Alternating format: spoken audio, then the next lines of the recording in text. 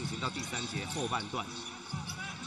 哦，当然，其实在台比哦，这个主场之后，上一周二他们只有一场比赛，所以他们其实针对富邦的战术啊，是练得非常的勤啊。来，平恩外线出手，这次有这个三分球很关键，对于菜鸟来说，一上来你登录十二个，你何不让这些有登录的其他球员不要管年纪，不要管他的一些状况，就让他去试试看。有时候练球状况跟比赛是不一样的。来，平恩从侧边来特进对球危险，再接啊，完全被对方拉开两位数。来，平恩这次一高人胆大。是，他现在就需要他的大心脏啊。对，因为其实他打球是比较不按牌理出牌，因为他有他的不是机器，不会每一个人每一场都有一个高水准的演出啊。哇，林志伟这位前状元，在现在这个压力啊，反而丢到台皮这一边呐。在刚刚第三节后半段的时候，其实还有一个十多分的领先啊，没有想到赖廷恩，赖廷恩杀上去挑战赛胜夫没有篮板。我想这个不管是球队也好，这个举世皆然啊。赖廷恩。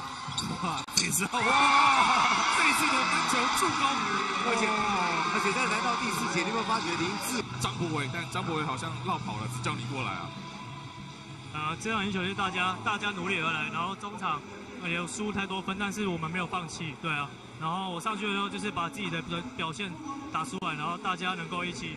团队运作，对啊，在落后那么多的时候被教练派上来，那时候有没有想说，其实给自己设定的是什么什么状况，希望能够达到什么样的目标？不过接下来成功的打乱了对手的节奏之后，你有没有感觉，哎，这就是你要的？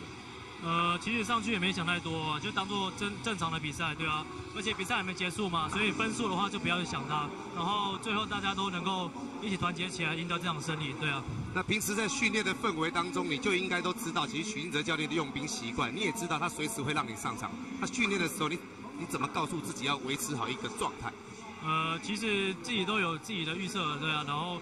随时随时准备上场，因为新新新秀嘛，你也不知道什么时候上场，然后能够好好好的表现，然后去融入这个球队，对啊。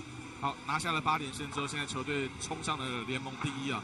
这个赛前两颗茶叶蛋，感觉效果还不错，要继续保持下去嘛？呃，其实就是填饱肚子啊，对吧？然后才有力气打球吧。好，谢谢平安，恭喜，谢谢。